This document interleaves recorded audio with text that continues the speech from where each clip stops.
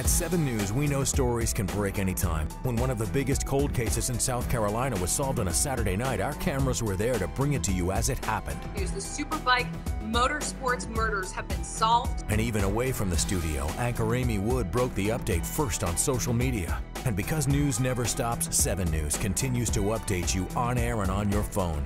We will continue to follow this investigation every step of the way because when the biggest stories happen, the news station is on it.